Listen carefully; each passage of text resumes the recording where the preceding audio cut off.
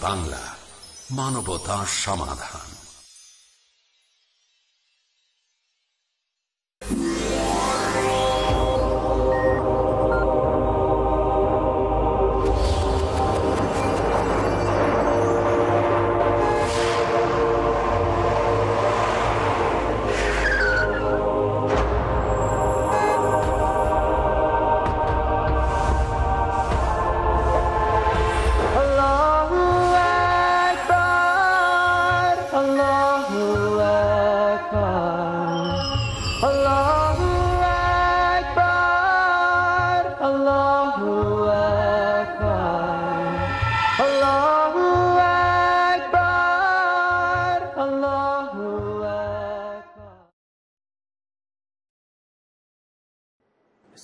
আলাইকুম রহমতুল্লাহ বারকাত আলহামদুলিল্লাহ রবিল আলমিন ওসলাত ওসালাম আলা রাসুলহিল করিম আলা আলহি ওয়াসাহবিহি আজমাইন। প্রিয় দর্শক মণ্ডলী, ইসলামী অর্থনীতি হালাল হারাম নিয়ে আমাদের যে পর্যায়ে শুরু হয়েছে, সেই ধারাবাহিক পর্বের আজকের একটা বিষয় ইসলামী অর্থনীতির কাঠামো কী, সেই সম্পর্কে আলোচনা করব। ইসলামী অর্থনীতি এমন একটা পরিচ্ছন্ন অর্থ ব্যবস্থা যে ব্যবস্থার মাঝে মুসলমানদের উন্নয়ন ঘটবে আর তারই সাথে তারা পবিত্র ও পরিচ্ছন্ন থাকবে। হালাল পথে রুজি রোজগার করবে, হারাম পথ থেকে দূরে থাকবে। আমভাবে যে অর্থের সাহায্যে মানুষের জীবন ব্যবস্থা, যে অর্থ হলো মানুষের জীবনের অবলম্বন, সেই অর্থকে পবিত্র করতে ইসলামের বহু প্রচেষ্টা আছে। প্রথমত, অর্থ সম্বন্ধে আমাদের আকিদা ও বিশ্বাস কি? জানতে হবে যে অর্থ হলো আল্লাহর দেওয়া সম্পদ, আল্লাহর দেওয়া নেয়ামত। আল্লাহ তালা যাকে দেন, তাকে অর্থশালী করেন। কুলিল্লাহমা মালিকার মুলকে, তুতিল মুলকা মন্তাসা ওয়াতানজিউল মুলকা মিম্মন্তাসা ওয়াতুইজ্জু মন্তাসা ওয়াতুজিল্লু মন্তাসা বিয়াদিকাল খাইরু, ইন্নাকা আলা কুল্লি শাইন কাদির। তারপরে তারজুকু মন্তাসা আল্লাহ তালা যাকে ইচ্ছা অর্থশালী করেন, যাকে ইচ্ছা অর্থহীন করেন, যাকে ইচ্ছা বিনা হিসাবে রুজি দেন, মাল আল্লাহর পক্ষ থেকে আসে। আল মালু মালুল্লাহ। আল্লাহ তালা এই মালের প্রতিনিধি বানিয়েছেন আমাদেরকে। দুনিয়ার বুকে আমরা হচ্ছি মালের প্রতিনিধি। আল্লাহ তালা বলছেন, আমিনু বিল্লাহ আন ফেকু মিম্মা মোস্তাখলাফি নাফি তোমরা আল্লাহর প্রতি ইমান আনো, রাসুলের প্রতি ইমান আনো, আর খরচ করো, ব্যয় করো। সেই মাল হতে যে মালের প্রতিনিধি আল্লাহ তোমাদেরকে দুনিয়াতে বানিয়েছেন। সুতরাং আমাদেরকে বিশ্বাস করতে হবে যে এই মাল হচ্ছে আল্লাহর পক্ষ থেকে। এই মাল উপার্জন করব, এই মাল ব্যয় করব। আল্লাহর কাছে আমাদেরকে জবাবদিহি করতে হবে আর মানুষের কাছেও আমাদেরকে জবাবদিহি করতে হবে। কোনো মানুষকে আমরা ক্ষতিগ্রস্ত করব না আর না নিজে ক্ষতিগ্রস্ত হব, না ক্ষতিগ্রস্ত হব আর না ক্ষতিগ্রস্ত করব। সুতরাং আল্লাহর অবদ্ধতা করে আমরা কোনো মাল উপার্জন করতে পারি না, তেমনি হারাম পথে আমরা মাল ব্যয় করতে পারি না, আর এমনভাবে মাল উপার্জন করতে পারি না যাতে অপর মানুষের কোনো ক্ষতি হয়। ইসলাম এটা আমাদের জন্য চায় না। মালের ভূমিকা কি? অর্থের ভূমিকা কি? মালের ভূমিকা হলো যে আপনার কাছে কোনো সামান আছে, আমার কাছে অর্থ আছে, আমার কাছে সামান নেই আপনার কাছে অর্থ নেই। আপনার সামানটা পাওয়ার জন্য আমি অর্থ ব্যয় করব আর আপনি অর্থের বিনিময়ে আপনার সামানটা আমাকে দেবেন। এই হলো মালের প্রধান ভূমিকা। এছাড়া মাল কিন্তু ব্যবসার জিনিস না, অর্থ ব্যবসার জিনিস না, মাল বলতে অর্থ অর্থ ব্যবসার জিনিস না। আমি আপনাকে দশ টাকা দেবো, আপনি আমাকে বারো টাকা দেবেন, এটা কি হবে? এটা হলে কি হবে? এটাকে বলে সুদ। সুতরাং মালের ভূমিকা হলো যে কোনো পণ্যের বিনিময়ে আপনি অর্থ পাবেন, আর আমি অর্থের বিনিময়ে পণ্য পাবো। আর এছাড়া যদি আমি অর্থকেই ব্যবসার কাজে লাগাই, তাহলে তাতে সুদ হবে, আর সুদ দুরকম সুদ হতে পারে রিভাল ফদল আর রিবান নাসিয়া। রিভাল ফদল মানে হাতে হাতে কম বেশি দেওয়া নেওয়া, আর রিবান নাসিয়া হচ্ছে ধারে। যে আমি আপনাকে একশো টাকা দিলাম, এক মাস পরে আমাকে দেড়শো টাকা বা একশো দশ টাকা দেবেন। এ হচ্ছে সুদের পর্যায়ভুক্ত। এবারে চলুন, আমাদের অর্থনীতি, ইসলামী অর্থনীতির বৈশিষ্ট্য কি? ইসলামী অর্থনীতির ভিত্তিসমূহ কি? প্রথম ভিত্তি হচ্ছে যে মানুষ যখন আপোষে ব্যবসা বাণিজ্য করবে, সেই ব্যবসা বাণিজ্য করার সময়ে একপক্ষভাবে লাভ হবে তা হবে না। গরমুন ও গন মানে একজন লাভবান হবে, একজন ক্ষতিগ্রস্ত হবে তা হবে না। যেন উভয়েই লাভবান হয় সেই চেষ্টা সবসময় রাখতে হবে। আমি যদি আপনাকে ব্যবসা করতে কিছু দিই, আপনাকে টাকা দিলাম, ব্যবসা করতে, আপনি ব্যবসা করলেন। এবারে বললাম যে যা লাভ হবে আমরা ভাগাভাগি করে নেব। আর যা নোকসান হবে, যা নোকসান হবে তা কি? ভাগাভাগি করবেন? যদি নোকসান ভাগাভাগি না করেন, তাহলে সেটা ইসলামী অর্থনীতি না। এখন বর্তমানে যে অর্থনীতিগুলো চলছে, যে অর্থ ব্যবস্থা রয়েছে, সেগুলো কি? যে আপনি শুধু লাভেরই অংশ নেবেন, নোকসানের অংশ নেবেন না। এটা হচ্ছে পার্থিব অর্থ ব্যবস্থা মানুষের মন গড়া তন্ত্রের অর্থ ব্যবস্থা কিন্তু ইসলামী অর্থ ব্যবস্থা হলো যে আপনি যখন এই শ্রেণির কোনো ব্যবসায় অংশগ্রহণ করবেন, তখন লাভবান হবেন, যেমন লাভে অংশী হবেন, তেমনি ক্ষতিতেও, নোকসানেও আপনি অংশী হবেন। সরকারের কাছে একটা মাল সঞ্চয় করার ব্যবস্থা ইসলামে আছে। আর তাছাড়া সরকার চলবে না। তাছাড়া তো সরকার চলতে পারে না। সরকার তো অর্থের দরকার আছে। ইসলামী অর্থনীতিতে সরকার মাল পাবে থেকে প্রধান ভূমিকা গ্রহণ করবে জাকাত। মুসলমানদের কাছ থেকে জাকাত নিয়ে তার একটা বাইতুল মাল ফান্ড গঠন হবে আর সেখান থেকে সেই মাল খরচ করা হবে যেখানে যেখানে প্রয়োজন আছে। ইসলামী অর্থনীতিতে ব্যক্তিগত মালিকানার অধিকার আছে। আপনারা জানেন যে অনেক অর্থ ব্যবস্থাতে অনেক রাজনীতিতে ব্যক্তিগত মালিকানার অধিকার বেশি নেই। এক, দুটো রুম পাবে আর সমস্ত মালকার সরকারের। সেখানে সাম্যবাদের আওয়াজ তুলে মানুষের হাত থেকে ব্যক্তিগত মালিকানা ছিনিয়ে নেওয়া হয়। কিন্তু ইসলামে সেটা করা হয় না। ইসলামে ব্যক্তিগত মালিকানার অধিকার আছে। যেমন, সাধারণভাবে আপনি অর্থ সঞ্চয় করতে পারেন, পুঞ্জীভূত করতে পারেন কিন্তু শুধু পুঞ্জীভূত করেই যাবেন, তাও কিন্তু ইসলামের নীতি না। কি করতে হবে সেখান থেকে? আল্লাহর যে হক আছে, সেই হক আপনাকে আদায় করতে হবে। নেশাব পরিমাণ গেলে সেখান থেকে আপনার টাকার একশো টাকার আড়াই টাকা আপনি কি করবেন? আদায় করবেন কাকে? ইসলামী সরকারকে আদায় করবেন। আর সেই সরকার আপনার বিল বন্টনের মাধ্যমে যেখানে যা দেওয়া প্রয়োজন, সেখানে ব্যয় করবে সরকার। আর একটা ইসলামী অর্থনীতিতে মুসলমানদের সমাজে সুখ শান্তির যে একটা ব্যবস্থা নেওয়া হয়, সেটা হচ্ছে আওকাফ, ওয়াকফ। সেটা কিন্তু অন্যান্য অর্থনীতিতে নেই। সাদাকাত, মানুষ দান করে, সেই দানগুলো যায় কোথায়? গরিবের খাতে যায়। তারপরে আপনার ওয়াকফের ব্যবস্থা আছে। এক মানুষ ওয়াকফে করেছে, নিজের সম্পত্তি ওয়াকফে করেছে, সেই ওয়াকফের সেটা ব্যয় হবে গরিবদের জন্য। সেটা ব্যয় হবে সাধারণ কাজে, সেটা ব্যয় হবে মনে করুন কোনো স্কুল, কোনো হাসপাতাল, ইত্যাদি ইত্যাদি। এই রকম একটা অর্থ ব্যবস্থা ইসলামে আছে। ইসলাম কিন্তু এই অর্থনীতির ব্যবস্থাতে ব্যক্তিগত যে লাভ, সেই লাভের ওপরে, ব্যক্তি স্বার্থের ওপরে জনস্বার্থের মানে সাধারণ স্বার্থকে প্রাধান্য দেয়। উদাহরণস্বরূপ, মার্কেট যে চলছে, বাজার যে চলছে, বাজার ব্যবসা, সেই বাজার ব্যবসার ভিতরে যেন কোনো প্রকারের অশান্তি না হয়, কোনো অপ্রীতিকর ঘটনা না ঘটে, সেই জন্য রাসুল্লাহ সাল্লাহ আলহি ওয়াসাল্লাম তার ব্যবস্থা করেছেন। বলেছেন যে বাইরে থেকে যারা পণ্য নিয়ে আসবে, যেমন শস্য, ফল ফসল বিক্রি করতে আসে কি না সাধারণত পাড়াগ্রামের মানুষরা তাদের ফল ফসল নিয়ে শহরে আসে। শহরের লোকদেরকে নিষেধ করা হয়েছে যে তোমরা সেই মাল বাইরে থেকে ক্রয় করে তোমরা নিজে বিক্রি করবে, তা হবে না।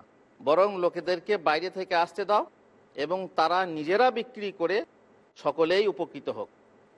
তার কারণ বাইরে থেকে আমাদের দেশে কী বলে? ফোরে বলে। বাইরে থেকে যখন কিনে নেবে, তখন সেই মালটা যখন বাজারে এসে বিক্রি করবে, তখন দাম বাড়বে না। তখন দামটা বেশি বাড়বে। এই জন্য শুরুতেই বলে দেওয়া হয়েছে যে, বাইরে থেকে যখন মাল আসবে, তখন শহরের বাইরে গিয়ে তাদের কাছ থেকে মাল শহরের লোকে কিনে নিয়ে বিক্রি করবে, তা যেন না হয়। কোনো শহরবাসী যেন কোনো মোড়বাসী বা গ্রামবাসীর মাল বিক্রয় না করে। বরং সকলকে নিজে নিজে বিক্রি করতে সুযোগ দাও। এটাই হচ্ছে ইসলামী অর্থনীতির স্বচ্ছতা, স্পষ্টতা। এতে কোনো অস্পষ্টতা নেই। সুতরাং স্পষ্টভাবে প্রকাশ্যে যার মাল সে নিজে বিক্রি করবে, কেউ কারও দালালি করবে না, কেউ কারও মাল কিনে দাম বাড়াবে না, ইত্যাদি ইসলামী অর্থনীতির বিশেষ বিশেষ আপনার বৈশিষ্ট্য। আমি আমভাবে আজকে সেই কথাই আলোচনা করছি। ইসলামী অর্থনীতিতে কিছু নিষেধাজ্ঞা আছে। একদম পূর্ণ স্বাধীনতা নেই। যে আপনি ইচ্ছা মতো বিক্রি করবেন, তা না। যা চাইবেন তাই বিক্রি করবেন, তা না।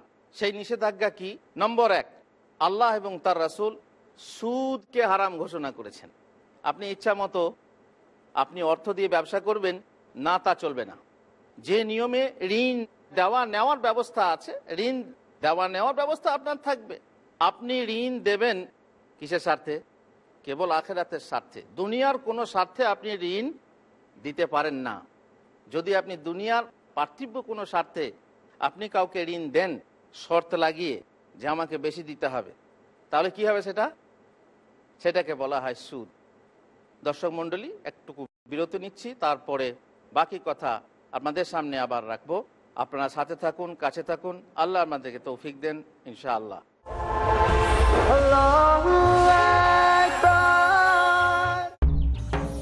ইসলাম যে করে অধিকারের রক্ষা, সততার সমর্থন, বিরূপের খণ্ডন।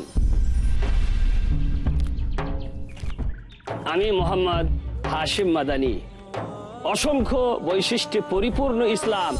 সবার থেকে ভিন্ন কেন? জানতে চান? তাহলে দেখুন, ইসলামের বৈশিষ্ট্য শুধু পিস টিভি বাংলায়।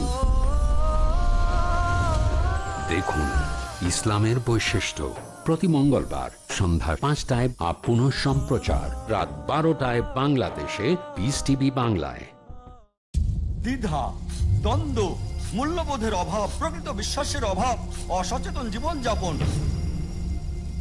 ধর্মকে ভুলভাবে তুলে ধরা, ধর্মীয় গ্রন্থের পরিবর্তন এবং সংস্করণ যথাযথ তথ্য পেতে সকল ক্ষেত্রে আমি সংগ্রাম করছি সত্য প্রকাশ করতে। কারণ এটা যারা আপনার অধিকার আর আমার দায়িত্ব সত্যটা বলা। দেখুন সত্য উন্মোচন প্রতি শুক্রবার থেকে বুধবার রাত নটায় আপ পুনঃ সম্প্রচার। সকাল সাড়ে সাতটায় বাংলাদেশে পিস টিভি বাংলায়। পড়ো এবং লেখো আল্লাহ তোমাকে কল্যাণ দান করবেন। যে ব্যক্তি এলিম তলব করবে সে যেন আল্লাহর পথেই রয়েছে। ইসলামের মধ্যে পরিপূর্ণরূপে প্রবেশ করো এবং শয়তানের অনুসরণ করো না। প্রথম নামাজের আদেশ দাও। শিল্প অকৃতজ্ঞতা জুলুম অহংকারী পদচারণা। সকল সমস্যার সমাধান একটি কথার মধ্যে। আপনার উত্থানের জন্য দেখুন ইসলামী প্রশিক্ষণ। পরবর্তী অনুষ্ঠান পিস টিভি বাংলায়।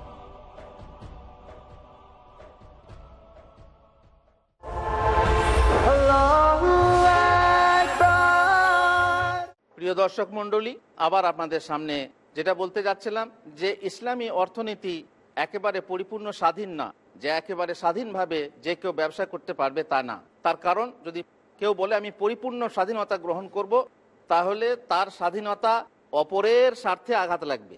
আপনি যদি পূর্ণ স্বাধীন হন, তাহলে অপরে কি হবে? পরাধীন হয়ে যাবে। আপনার স্বাধীনতা অপরের স্বাধীনতা গিয়ে আঘাতপ্রাপ্ত হবে। সুতরাং এই ক্ষেত্রে আপনার উচিত হবে যে আপনি পূর্ণ স্বাধীন হবেন না, হতে পারেন না। শরীয়ত তার নিয়ম নীতি বেঁধে দিয়েছে। নম্বর এক, আল্লাহ এবং তার রাসূল সুদকে হারাম ঘোষণা করেছেন। আপনি ইচ্ছা মতো আপনি অর্থ দিয়ে ব্যবসা করবেন, না তা চলবে না। যে নিয়মে ঋণ দেওয়া নেওয়ার ব্যবস্থা আছে, ঋণ দেওয়া নেওয়ার ব্যবস্থা আপনার থাকবে। আপনি ঋণ দেবেন কিসের স্বার্থে? কেবল আখেরাতের স্বার্থে। দুনিয়ার কোনো স্বার্থে আপনি ঋণ দিতে পারেন না। যদি আপনি দুনিয়ার পার্থিব্য কোনো স্বার্থে আপনি কাউকে ঋণ দেন, শর্ত লাগিয়ে যে আমাকে বেশি দিতে হবে, তাহলে কি হবে সেটা? সেটাকে বলা হয় সুদ। এমনকি ঋণ দেওয়ার পরে যে মানুষকে আপনি ঋণ দিলেন, তার সঙ্গে আগে লেনদেন ছিল না। ঋণ দিলে মানুষ কি হয়? উপকৃত হয়। আর উপকার যার পায়, তার প্রতি মানুষ দাস হয়ে যায়, তাই না? কৃতজ্ঞ হয়। এবারে আপনি গেলেন হঠাৎ করে, তারপর আপনি গাড়ি নিয়ে যাচ্ছেন। কোনো দিন সে আপনাকে গাড়ি চড়তে বলে না, ঠিক কি না হঠাৎ করে দেখা হলো ঋণ দিয়েছে যেহেতু। আসুন আসুন গাড়িতে বসুন।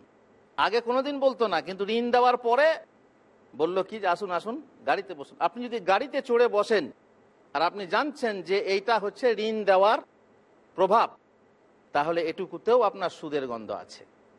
এর আগে আপনাকে কোনোদিন পেপসি খাওয়ায়নি, চা খাওয়ায়নি, কিন্তু যখনই ঋণ দিলেন, তখন মানুষ আপনার কি হয়েছে? আপনার প্রতি কৃতজ্ঞ হবে। আর সেই কৃতজ্ঞতা বোধ যখন তার ভিতরে জাগবে, তখন আপনাকে চা খাওয়াতে চাইবে। এর আগে কিন্তু কোনোদিন খাওয়ায়নি যখন আপনি চা খাবেন, ঋণ দেওয়ার পরে ওই ঋণ, যে চাটুকু খাবেন, আপনার সুদের গন্ধ থাকবে।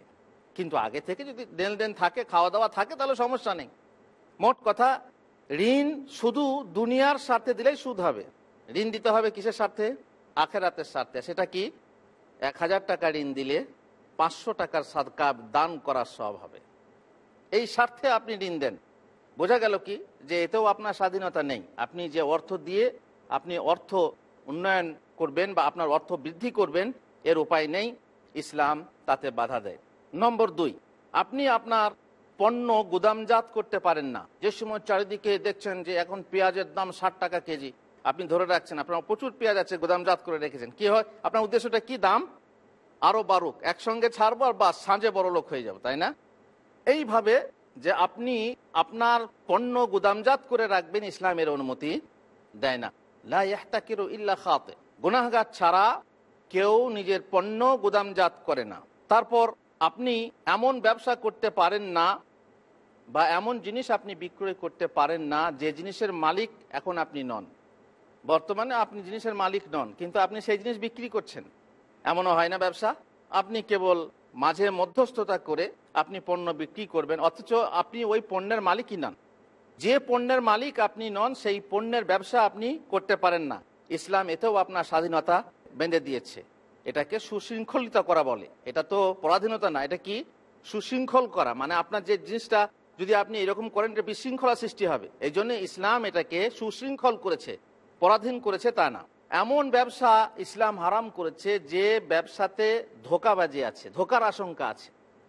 যেমন এই যে একটা হজ বা একটা পুকুর, এই পুকুরে যত মাছ আছে এত টাকার বিনিময়ে বিক্রি করলাম। আপনি কি জানেন এই পুকুরে কতগুলো মাছ আছে? ধোকার আশঙ্কা আছে না নেই? ধোকার আশঙ্কা আছে। তেমনি আপনি দেখবেন অনেক সময় ব্যবসা হয় যে ব্যবসাতে ধোকার আশঙ্কা, ফলসহ বাগান কিনে নিল। এই বাগান কিনে নেওয়ার পরে সে এখন মুকুল অবস্থায় আছে, তারপরে ফুল ফুটবে, ফল হবে, সেই ফল থাকবে না ঝরে ঝরে যাবে, না কি হবে। বিশাল আপনার কি আছে? ঝুঁকির ব্যবসা এটা। এটা হচ্ছে ঝুঁকির ব্যবসা। আর এটা ধোকার আশঙ্কা আছে, প্রতারণার আশঙ্কা আছে। আপনি এত টাকা দিয়েছেন, তত টাকার মাল নাও পেতে পারেন। সুতরাং এই শ্রেণির ব্যবসা ইসলামে হারাম করে দিয়ে আপনার স্বাধীনতা সুশৃঙ্খলিত করেছে।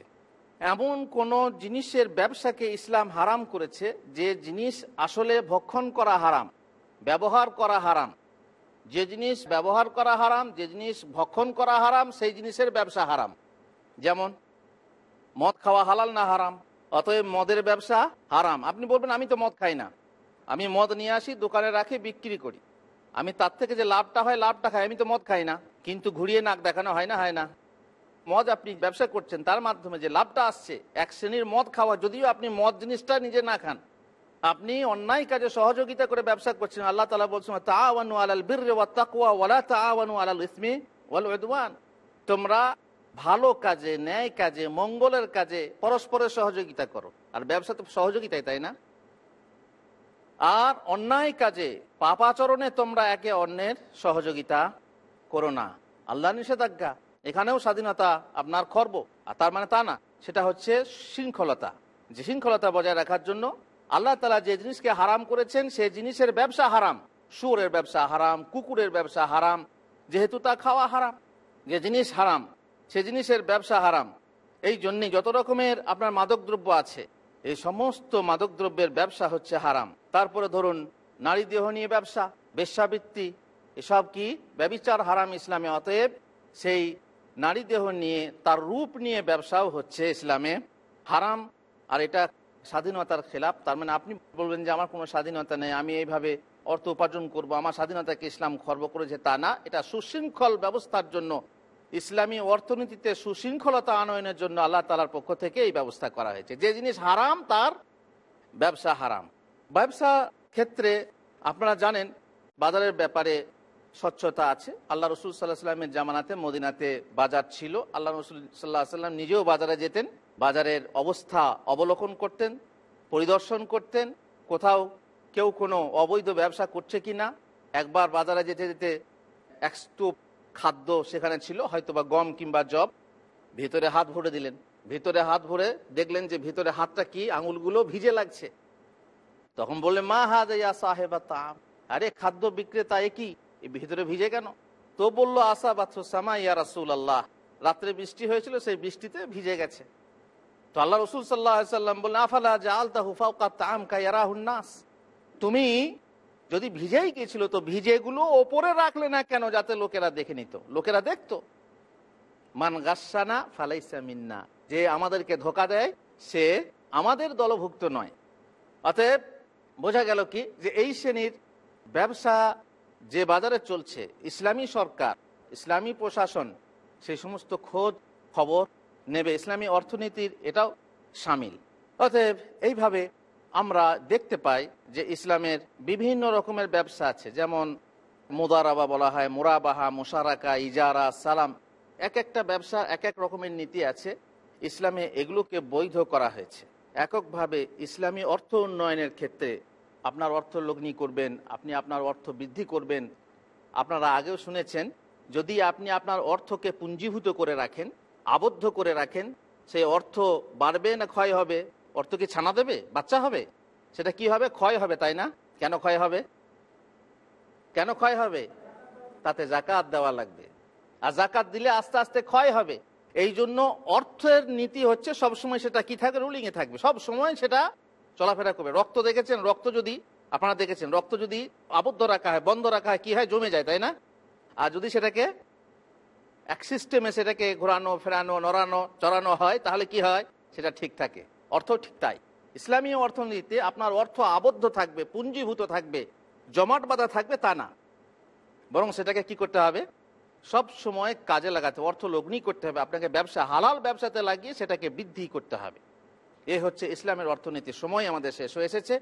এখন আপনাদের কাছ থেকে দু একটা যদি প্রশ্ন থাকে তাহলে সুযোগ দেওয়া হচ্ছে।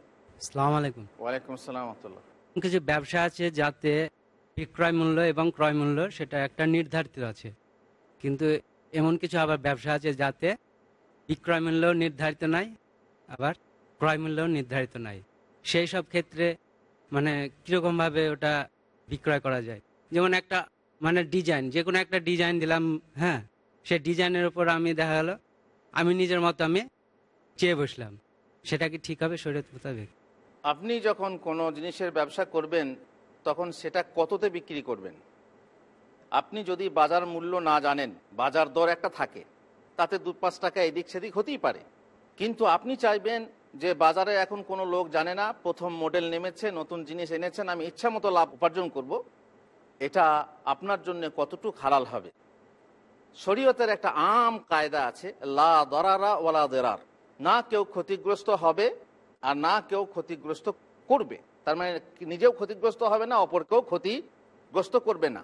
এই হিসাবে আপনার বিবেক অনুযায়ী, আপনার বাজার অনুযায়ী যতটুকু লাভ নেওয়ার প্রয়োজন আছে বা হয়, ব্যবসা যেমন চলে ততটুকুই আপনি নিতে পারেন। যদি আপনি বেশি মানুষের কাছ থেকে অতি লোভে আপনি বেশি বেশি শোষণ করতে শুরু করেন, সেটা শোষণের পর্যায়ভুক্ত হবে। আর সেটা হবে আপনার জন্য জুলুম। বুঝতে পারছেন? অন্যায় করে আপনি ডবল দাম, তার বেশি দাম দিয়ে আপনি কাউকে ধোকা দেয় ধোকা দেওয়া হলো মানুষকে। সে বেচারি জানে না বাজার দর, অথচ আপনি তাকে ধোকা দিয়ে বেশি নিলেন, তা হবে না। সুতরাং আপনার একটা বাজার দর আপনি ঠিক করবেন যে এটা হচ্ছে বাজার সামঞ্জস্য বজায় রাখার জন্য। আর এতে কিন্তু সত্যিই আপনার ব্যবসা ভালো চলবে। বেশি লোভ করতে গেলে আপনি শোষণে পড়তে পারেন, জুলুমে পড়তে পারেন, আর এমনও হতে পারে যে লোকে আপনার প্রতি আস্থা হারিয়ে ফেলবে, আপনার ব্যবসা বন্ধ হয়ে যাবে। আল্লাহ তালা আমাদেরকে তৌফিক দেন। দর্শক মণ্ডলী, আবার পরবর্তীতে পর্যায়ে আমরা ইসলামী অর্থনীতি হালাল হারাম সম্পর্কে আলোচনা করব। আমাদের সাথে থাকবেন, এই আশা করে শেষ করছি, ইতি করছি। সালামু আলাইকুম রহমতুল্লাহ বারকাত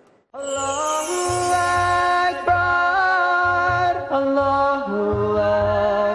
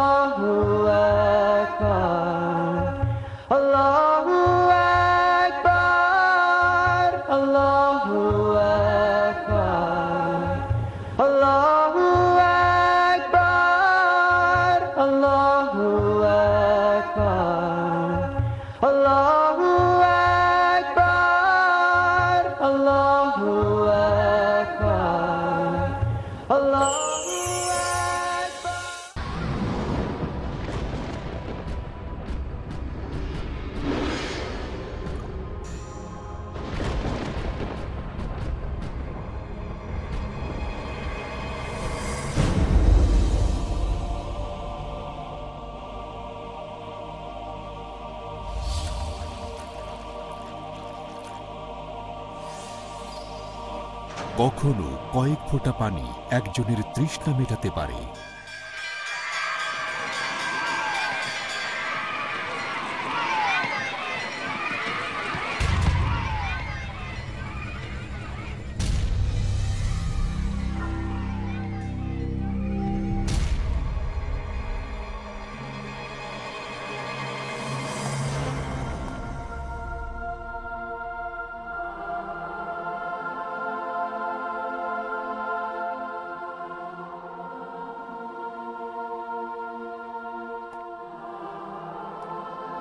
কখনো একটি সাহায্যের হাত মানুষের মুখে হাসি ফোটাতে পারে।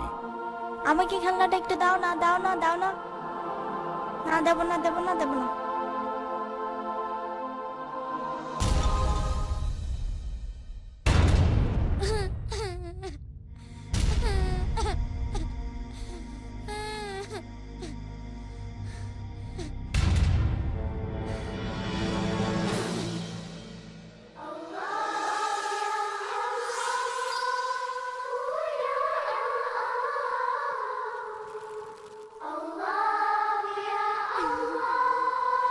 কখনো সামান্য একটি উপহার হতে পারে মহামূল্যবান।